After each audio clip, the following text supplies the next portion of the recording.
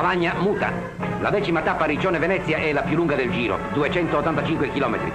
Dovrebbe essere semplicemente una piacevole passeggiata. Così la pensano i corridori. Così dice la media che si mantiene al di sotto dei 30 all'ora. Koblet e Kubler sono i più champagnoni nell'allegra comitiva.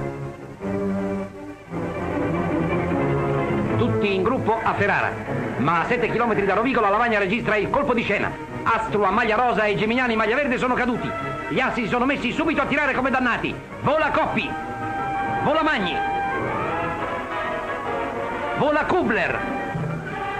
Vola Van Stenbergen. Vola Koblet, che anche volendo non avrebbe davvero il tempo di ravviarsi i capelli. Dalle vetture al seguito partono incitamenti sferzanti come scudiciate. Ale, ale, ale, dai, dai! Correre, correre, per impedire ad Astro e a Geminiani di recuperare il terreno perduto. Dai 29 si è saliti ai 45 all'ora. In 22 parteciperanno al volatone.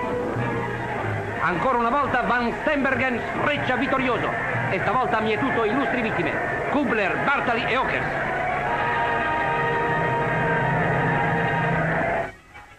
Dopo il dolce riposo sulle sponde del Tevere, quello ancora più dolce in laguna. Se noi se matti non li volemo, e questi se proprio matti, sembra dire Fausto Coppi. Matti anche questi altri. Sotto le maschere dello scultore Morini, Fiorenzo Magni e Lorenzo Petrucci se la spassano, non meno di Milani, che ha scelto il Ponte dei Sospiri per intrecciare un frenetico idillio con la Bandissima. Notti profumate di Venezia, un incanto le luci tremule che si moltiplicano specchiandosi nella laguna. Dormono da tempo i girini, ma non dormono i meccanici.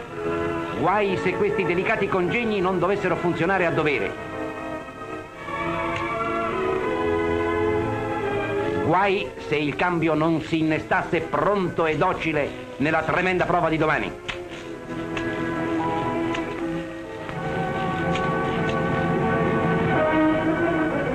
Undicesima tappa, Venezia-Bolzano, chilometri 276. Sono partiti in 97, giungeranno tutti a Bolzano, ma 6, 5 spagnoli e Malabrocca, fuori tempo massimo per cui non potranno più proseguire.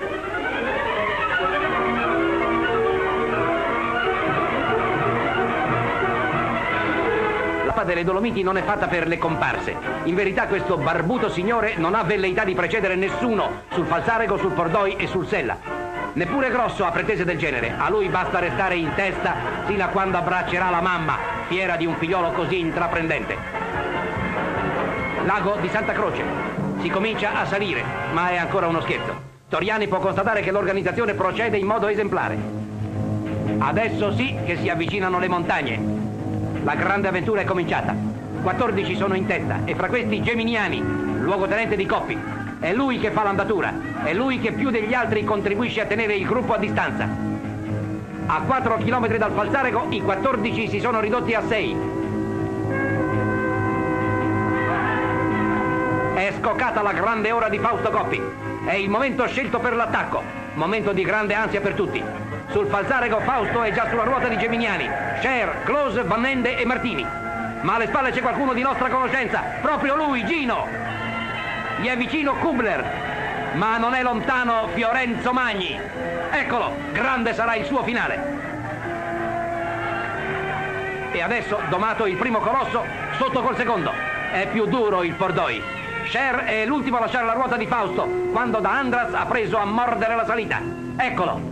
Seguiamolo in silenzio. Forse potremo percepire i battiti di questo motore eccezionale che non perde un sol colpo.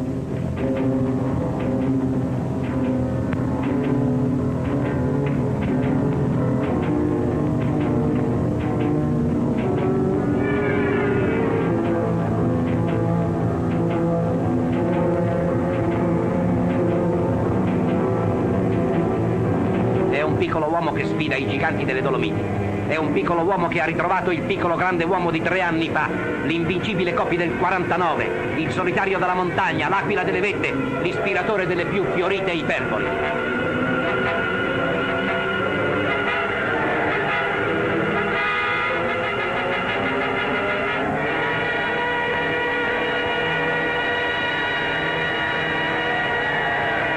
Dopo il Bordoi addenterà il Sella. È fatto i 1000 metri da San Vito di Cadore al Falzarego. È fatto gli 800 metri da Andras al Fordoi.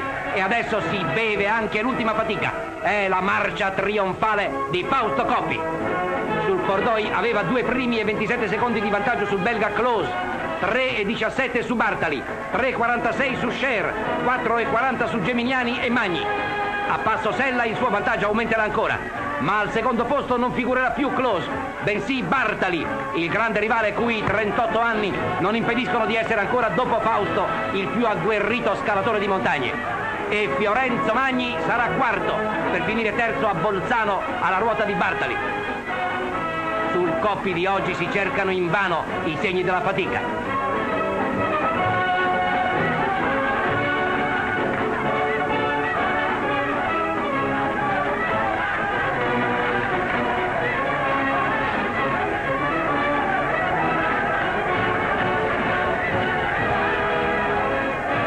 Dopo passo Sella, Fausto si precipita verso il traguardo.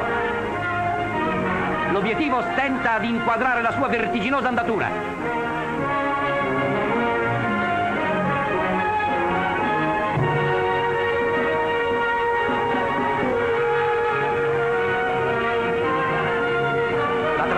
Tappa delle Dolomiti resterà una delle più memorabili imprese del ciclismo italiano, poiché non ha fatto registrare soltanto la grande prova di un atleta tornato al fulgore di un passato recente.